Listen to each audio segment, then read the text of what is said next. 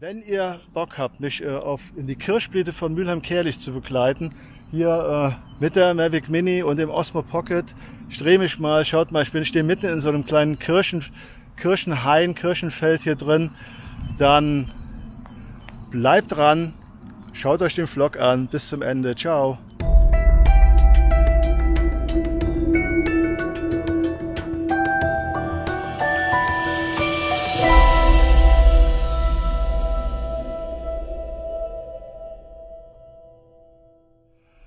Bang!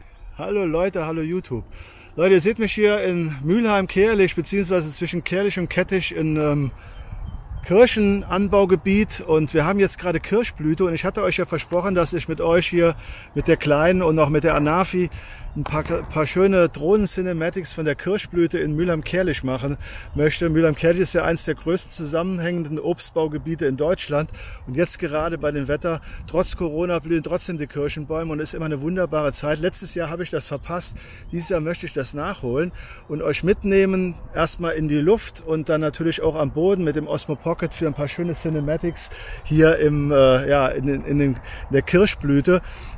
Ich würde mal sagen, äh, ich will auch gar nicht lange reden. Genießt den Flug, genießt die Cinematics und dann hören wir uns dann gleich nochmal wieder. Bis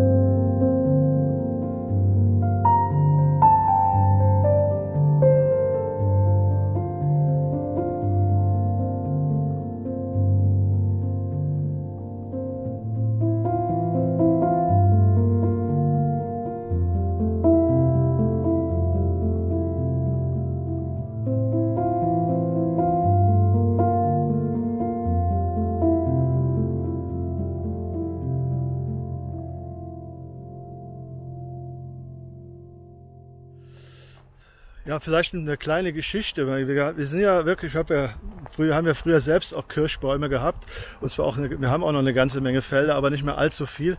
Und äh, während ich hier gerade durch so einen Kirschhain gehe, das war früher so als kleines Kind, bin ich dann sind wir dann immer sehr früh aufgestanden während der Kirschernte und dann haben wir ja habe ich immer für jede Kiste Kirschen, die ich gepflückt habe, fünf Mark von meinem Opa bekommen. Das war dann richtig viel Geld damals. Und äh, ja, heutzutage sind die Preise leider doch einigermaßen eingebrochen. Und äh, die meisten Arbeiter hier in der Obstwirtschaft, die kommen aus dem Ostblock. Ja, das ist natürlich auch das Problem von der Corona-Krise. Aber so weit sind wir ja jetzt noch nicht. Ich äh, denke mal, dass vielleicht bis zum Sommer, bis die Kirschernte ist, sich das einigermaßen ja, gegeben hat. Und äh, aber Leute, ist einfach mal wieder herrlich, hier so als ehemaliges ja, Kirschbauernkind sozusagen, oder beziehungsweise mein Opa hat die gehabt, mein Vater, immer wieder hier durch diese wunderbare Landschaft und die wunderbare Kirschblüte zu gehen. Ich hoffe, dass ich noch eine kleine Wanderung mit der irischen Lady machen kann. Die kann ich vielleicht noch ein, ja, die werde ich wahrscheinlich extra vloggen, denke ich mal. Aber guckt mal, wie, wie toll das hier ist. Guck mal hier. Das sollten, glaube ich, Schattenmorellen sein hier, ja. Also Sauerkirchen hier auf der linken Seite. Und ja, Viel Spaß weiter beim Vlog.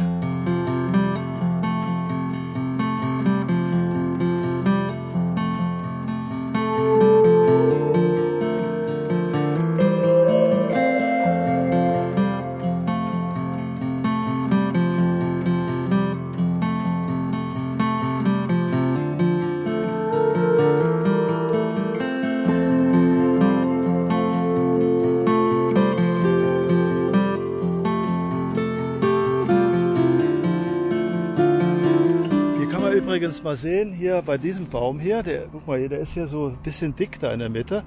Das ist, äh, da ist der Obstbaum veredelt worden. Da ist auf einen äh, nicht so edlen Obstbaum ein edles Obst draufgesetzt worden. Ich äh, drehe euch mal.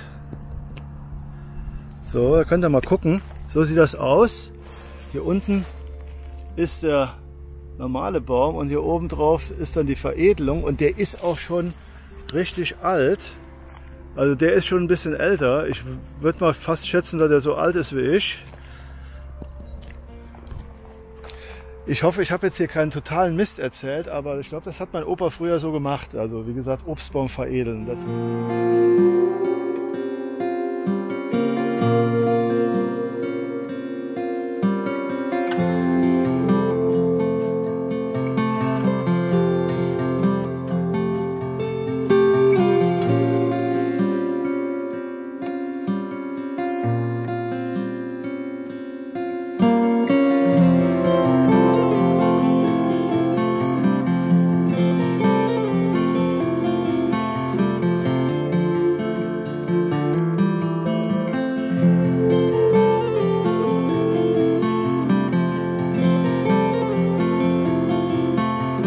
Ganz wichtig ist natürlich auch, äh, dass die Obstbäume bestäubt werden. Und wir hatten ja so ein Problem mit den Bienen, aber momentan sieht es hier ganz gut aus. Und hier haben sie auch hier so mobile Bienenkisten in die Felder gestellt. Das machen die Imker und die Bauern ganz gerne, damit auch die Obstbäume richtig gut äh, ja, äh, bestäubt werden.